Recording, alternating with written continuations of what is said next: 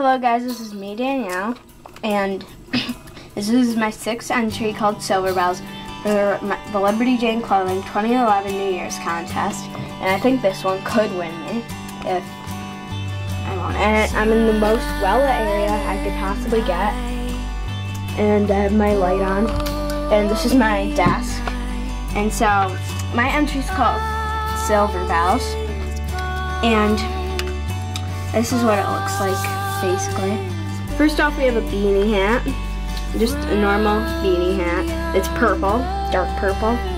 Then the necklace, I want to point out something. It is a button necklace. And here's a bigger kind of view of it. But it is a button necklace like this.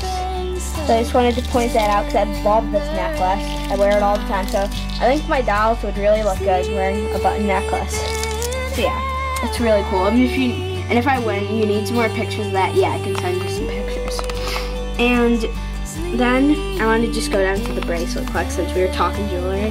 That is just a bunch of little silver bells put on to a necklace or bracelet, whatever.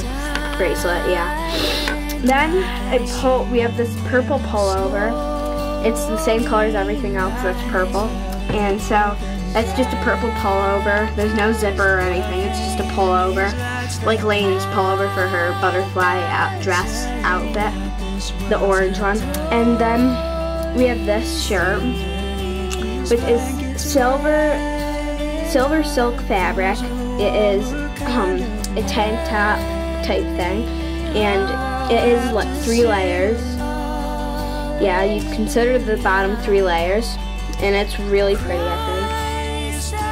And purple capris which are just denim purple capris. And then we have um, some ballet flats, which are like your silver ballet flats with purple bows.